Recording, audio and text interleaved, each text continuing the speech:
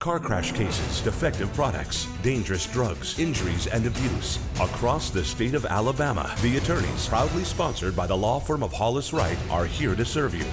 Your tough legal questions answered by our experts. The attorneys with Josh Wright from the law firm of Hollis Wright and host David Lamb.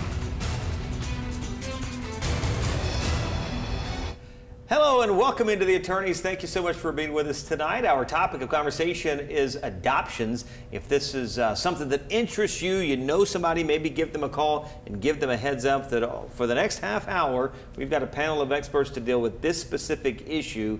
Um, so take advantage of that. And uh, we'd love to have you be a part. All throughout the program, you'll see ways at the bottom of the screen where you could join our conversation. And uh, the firm of Hollis Wright does a neat thing. They make available attorneys that are standing by live during this program. So for the next half hour, lawyers live standing by to speak with you. Those conversations take place off the air, so not for us to hear, so you'll have some privacy, but take advantage of that opportunity. Leading our conversation, he is the managing partner of the firm Hollis Wright, Josh Wright.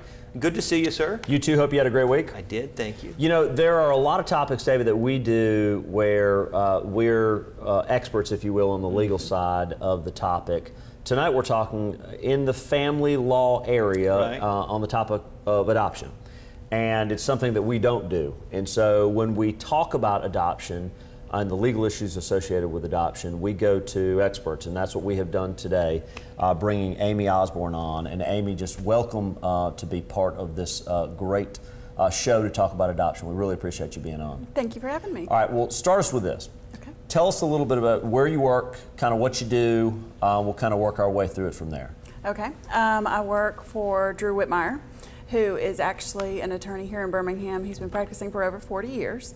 Um, and I went to work for him um, about 15 years ago as his paralegal, um, doing estates and conservatorships, and have found my way into doing his adoptions. And so now we focus on the um, adoptions both interstate and um, within the state of Alabama.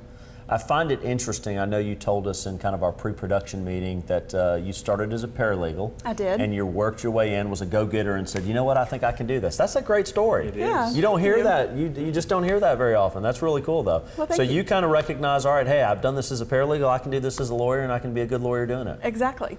So and is that it's 11 passion, so it didn't make it, you know, it's not a hard job. It's it's fun. Is that how you kind of got into the adoption itself, the adoption world? I actually um, had gone through school with human development and family studies as my degree, okay. and had worked with um, a organ a ministry doing save a life type uh, things with birth mothers and everything else, and helping the birth mothers make decisions as to whether they wanted to place or not. And that just um, a girlfriend called me up one day and says, "There's an adoption attorney that's needing a paralegal. Would you be interested? And it was still within the adoption realm, so that's why I chose to go with them. So you've got a lot of experience, and I, I, tell my paralegal a lot of times she's doing more of the legal work than I feel like I'm doing. So I know how much experience it takes to be a paralegal and to work through it. Because a lot of times, one of the nice things about being a paralegal is you're learning all the nuances of filings and the paperwork and the process that has to be used, whereas the lawyers sometimes doing the big picture. And when you have that context, have all that the general information, it'll makes you a better lawyer along the way. So I know that's probably helped you. Yeah. All right, let's talk adoption. Okay. Um, because I know there are people in the viewing audience that watch this show uh, that sometimes will call about adoption and the process and whatnot. Um, kind of let's jump off just into the concept of adoption itself. Um, can you, number one, do you have to have a lawyer to do an adoption? In the state of Alabama, you do have to have an attorney. Um, we have a lot of people who will call us up and say, oh, I found all these forms online, blah, blah, blah, blah, blah. I'm going to fill them out and, and file them. And they get up to the courthouse, and the courthouse tells them no. Unfortunately, you cannot file that. Alabama is, in the statute, the Alabama statute, they have put into the statute what the forms are supposed to have and everything else like that. And so they are very form specific. Um, so it is best to go ahead and just call an attorney, don't pay the fees online, get an attorney, make sure that the forms are correct and allow him to file it. Um, because you're not even allowed to file it in Alabama without an attorney. So even if you do have the forms, unfortunately, you still have to have the attorney to file it. All right, so I'm a client coming to you. Yes, sir. And uh, I come into your office and I say, my wife and I would like to adopt what is the process? Explain to us kind of the process of how that works, because I know that's probably a misconception for a lot of people. Yes. They just assume you go to a lawyer, they kind of work it out, you pay a fee, and then you go through some probate proceeding. But the reality is, there's a there's a much longer step in that, isn't in there? There is a long step in that. Um, it it kind of depends on what you as a couple are looking for in the adoption process. Some people want to go through DHR, which is a wonderful place to you know to go through, get placed with a child, and um, go through the adoption process. Um, probably one of the, the cheapest ways, too, for the simple fact that the state of Alabama will pay for the adoption should you go that direction. Are those generally foster children that are in DHR They- custody? They are. They are wards of the state, um, and you do have to go through the process of the termination of parental rights and everything else. So a lot of times the children are placed with you going through that entire process. Other times you go in and the, the TPR has already been done, and the child is placed with you with the idea that you will be adopting. Um, and so that's you know that's one avenue that the couples can take, and we kind of you know explain that to them. Um, sometimes couples don't you know they don't want to have to go through DHR. They just want to hire someone to find them a child and go from there. And at that point in time, we refer them to different agencies. Um, and tell them, you know, look, research agencies. You know, every agency is different. They all have different re- types of requirements, um, and you kind of have to find out which agency works best for you. Um, some, we have facilitators as well. Um, Alabama allows facilitators, and those are people that just do the placement. They're not really considered an agency. They place and then they walk out. Can I? Yeah, go ahead. Just, I'm, I'm curious. You have so much experience in this. You, you've just walked through so many people through this, and I know this is a tough decision. And um, so, for you, when somebody comes to you and says, uh, "We we think we want to adopt," do you have any advice about just kind of how to determine if? If, uh, if I'm right for adoption and if adoption is right for me, kind of any ideas or any any tips that you can help folks kind of figure out if this is something that they really want to do and kind of are qualified to do? Um, it just really kind of depends on the couple. We have some couples who will come to us and say, "Oh, I'm, you know, I want adoption. Let's go, let's go," and they get through the adoption process and decide that this just isn't right for them. Right. This is not what they were thinking it was going to be. I mean, this is this is a lifelong commitment. This is not, you know, come in think you're going to have a child and then return the child. I mean. Right.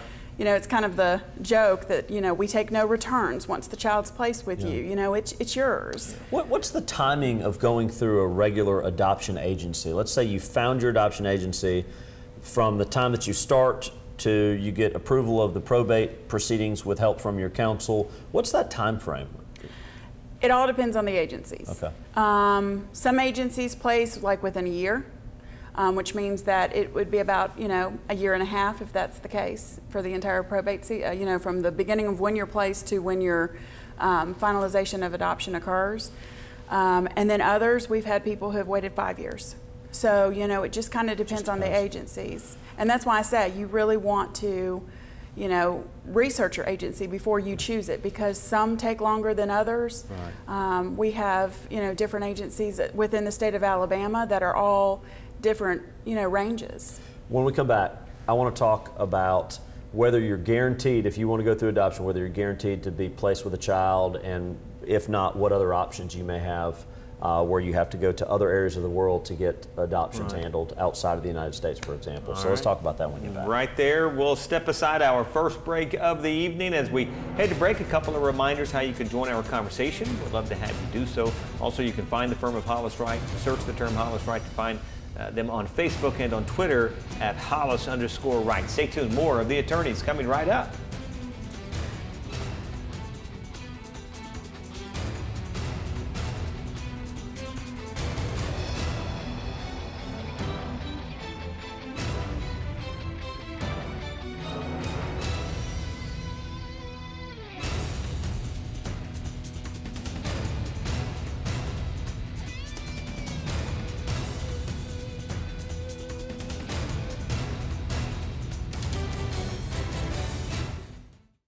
I'm Josh Wright with the law firm of Hollis Wright, a personal injury law firm. Thank you for watching The Attorneys. Now, we hope you, a friend, or a loved one never needs legal counsel for a case. But if you do, the goal of the show is simple provide answers and legal counsel when you need it the most.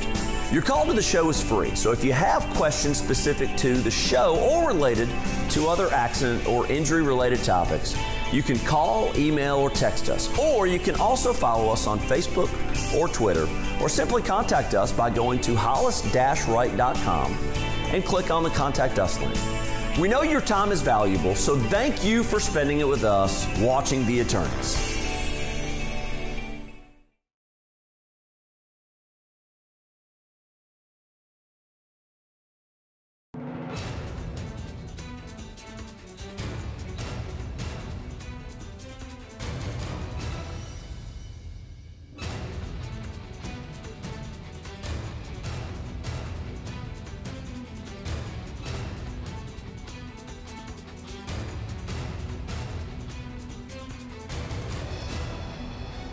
Welcome back into the attorneys, adoptions and the law, the topic of conversation tonight. We'd love to have you be a part of the conversation. How you can do that at the bottom of the screen. Also, a reminder throughout the program tonight, about 20 minutes or so remaining uh, in the show, and in your opportunity to speak with an attorney live, standing by to speak with you. Josh. All right, so when we went to break, um, I was getting into a topic that I want to talk about now, Amy. Okay. And that is. Um, these adoption agencies probably have different criteria and categories of individuals that are primary for them versus secondary parents um, that would be entitled to um, adopt a child.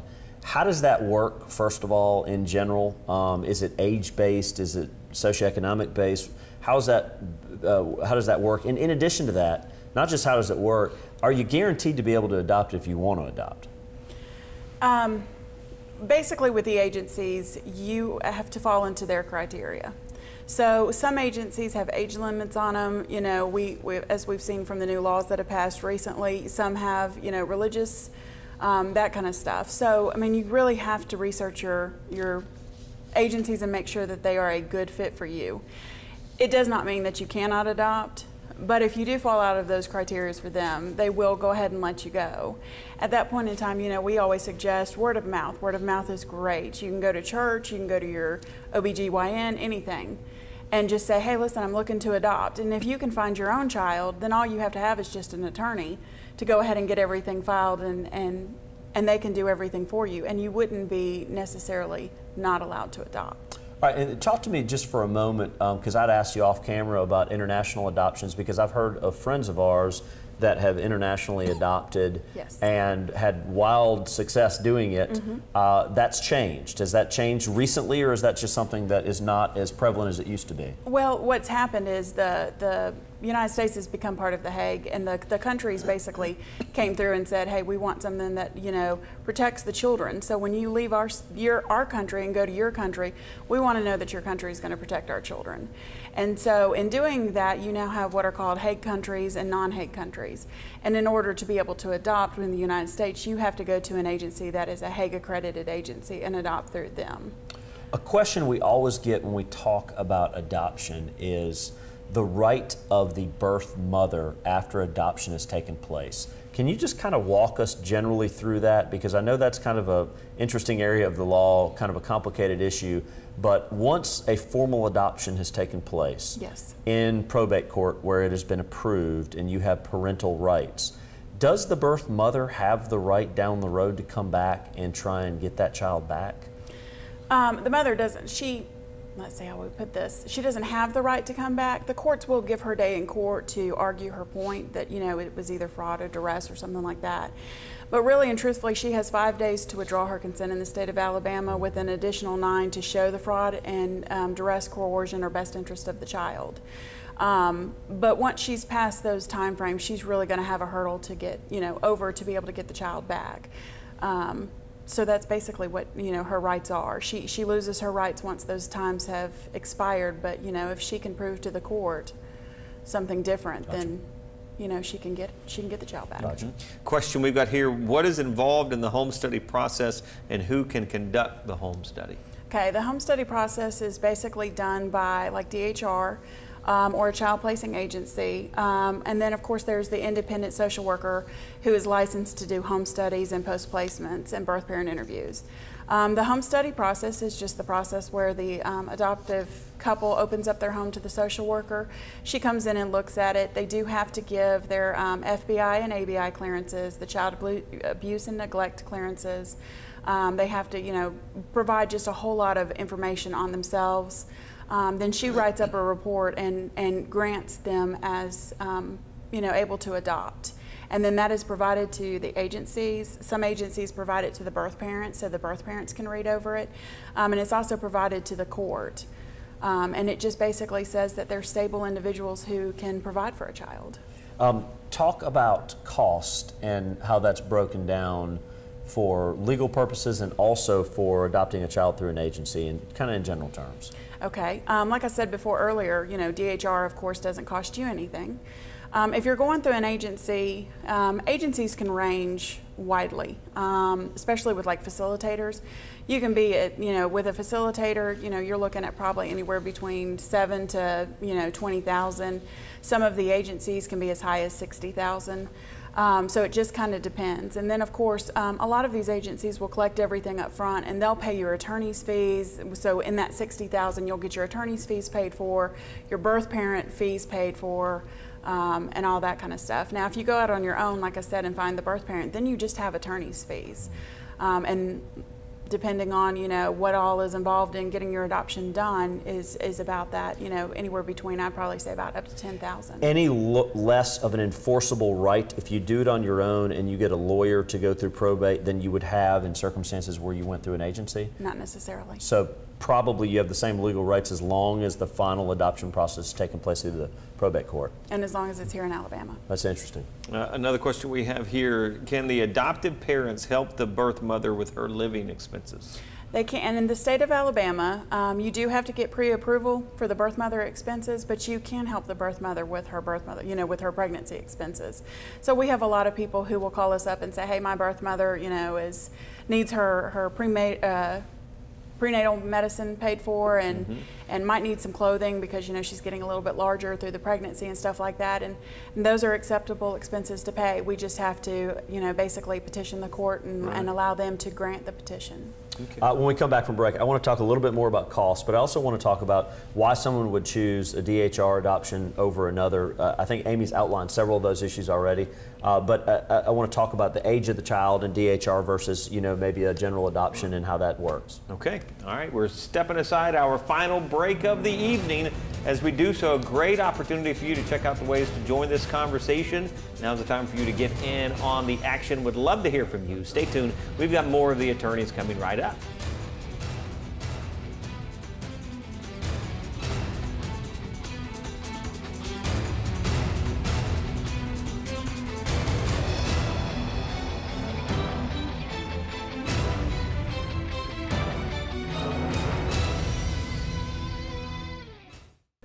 I'm Tyler Vail with the law firm of Hollis Wright. In court, attorneys are not allowed to tell juries certain things.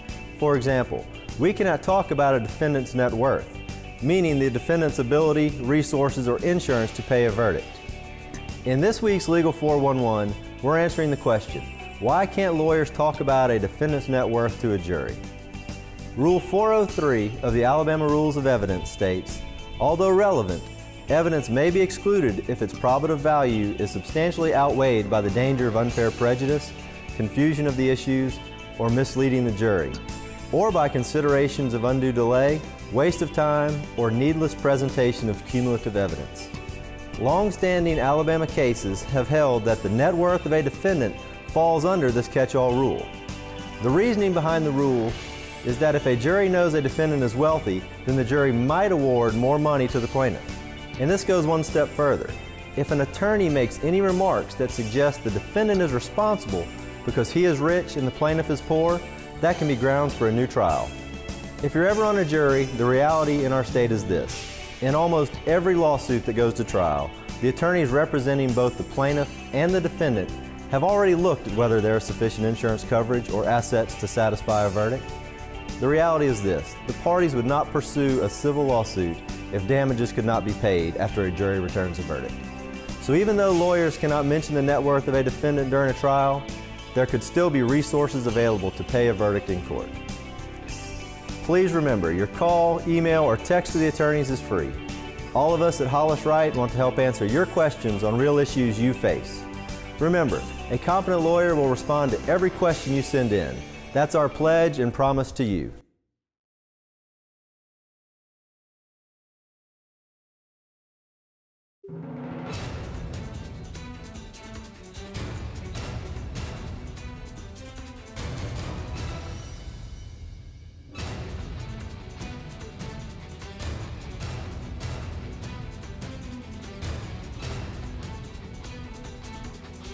Learning a whole lot about adoptions and the law. Would love to have you join our conversation. This is our final segment, so just a few minutes remaining, but take advantage of that opportunity to speak with attorneys who are standing by live and also uh, be a part of the conversation with the information you'll find at the bottom of the screen there. Josh? So, Amy, we, we were talking about the home study and how that process works. Um, a question we've got uh, what, what does that cost? Do you have to pay if you're going through an adoption? Um, through uh, either DHR or through an adoption agency, do you pay for the home study program? And I think it's only is, is it only applicable to DHR? It's not only applicable okay. to DHR. The only adoption that you do not have to have a home study on is if it's a closely related or a step parent adoption. But if you're you're doing a private adoption or a DHR adoption, you do have to do a home study. If DHR does your home study for you, um, it doesn't cost anything. They come in and they do everything for you. It's part of the process of becoming the foster parent to adopt. Um, and like I said, they don't charge you anything for that or for the, the adoption process. You just have to pay court cost for that. Um, and then, of course, you have the, um, the, the private adoptions, and, and you know your agency will charge you for that, um, or your, your social worker will charge you, and that, that can range anywhere from about a thousand all the way up to about thirty five hundred dollars. And you had mentioned to me earlier um, about um, going through an adoption agency, are those generally going to be infants, um, just born yes. infants? They, they can be infants, and they're normally infants. There are some times that the agencies will find you some smaller children, um, but most of the time it, it's an infant. And then with DHR, um, do you have the ability to request through DHR an infant, or is the age sometimes older with DHR? How does that work? Um, usually with the DHR adoptions, they're going to place you with children who've already been born and taken out of the home. So, I mean, the, the children are going to be on the older, older stage. Um, however, you know, a lot of times if you've adopted, you know, they'll try to make, if a sibling is born, you know, a sibling can go into your house. So it all just kind of depends on the, the situation that you're in with DHR. And you can request certain things, but, you know, it's the more you request, yeah. you know, the, the tighter your, your placement's going to be. Yeah. You need to get a lawyer involved early in this, is what I'm assessing. Yes. Sounds like. I know, I, I mean that. Oh, yeah. yeah. What, what I'm assessing is you don't just pick up the phone and call DHR and say, this is what I'd like to do. I'm sure they have a, a counsel, you know, some, some type of worker that will help you with that. But you need someone to lead you through this process because it sounds to me like there, if you don't do it right, you, this is, could be catastrophic. Yeah. You could build a tremendous relationship with a child, not have proper legal right, and then lose that child down the road to a birth mother because you didn't go through probate correctly. I mean, so I, you'd want to get a lawyer involved early. Absolutely. Another good question we've got here: Can the adoptive parents get help with the adoption expenses? You said it could be up to sixty thousand dollars, so that, that's pretty pricey. Yeah, if you're um, if you're going through an adoption, there's all kinds of help out there for you. You know, we all hear nowadays about the GoFunding stuff that people are doing for, mm-hmm. you know, individuals. We have couples that um, who have done the GoFunds um, however, there are agencies out there that can help you set up, and it's almost like a GoFund account, but it makes it a 501c3 so they can give to you in that account you know, as a tax deduction. Mm-hmm. Um, and so, and then that way you can use that towards your adoption and it just goes into your fund. Then there's also other, you know, agencies who give out grants. Um, and then there's matching agencies that says, hey, if you can raise this much money, we'll match that. Wow. Um, and then there's direct grants that you know they'll come through, and if you if you do your application and everything else, and they accept you, they'll basically say, here is the money for your adoption. Um, you mentioned something earlier in the last segment that I, I, I, wanted to ask you about, and that is step parent adoptions. Yes. Um, I was a product of that because my stepfather uh, adopted me when I was younger. Um, so I obviously went through that process. So that's kind of near and dear to my heart. But um, it sounds like is that a simpler process than going through oh, yeah. adopting a new child? Okay. Oh and yeah. So, but you hear about this, and you see these great YouTube videos of children where the stepfather says, "I'd like to adopt you," and there's this really heartfelt yeah. moment. Mm-hmm. Kind of a cool concept. I mean, is that something you guys do too? Oh yeah, we do the step parent adoptions and the related adoptions. Um, step parent adoptions are um, why they're much simpler is because the child's already in your home. Um, they do need to be in your home for at least a year before the um, probate court will allow the adoption to go forward, um, or at least finalize the adoption, I guess I should say. Um, and then, of course, related adoptions, the same thing. They want you to be in the home, you know, for a year, and, and, and you can, you know, if you've got your grandbabies or whatever, you can um, give us a call and we'll walk you through that process and get that done for you. tell us about something called the adoption credit. What, what is that? The adoption tax credit just basically says that um, it's, it's the federal government's incentive to, to do adoptions. Um, it's a very expensive process, like we talked about, you know. And so, what the government's come through and done is it says that if you do an adoption, you can get up to thirteen thousand five hundred dollars back as a tax credit on your taxes. Okay. And it's usually within the year of the final decree. Um, and the um, and as long as you don't make, I think it's over um, 240 something, um, you can get that tax credit.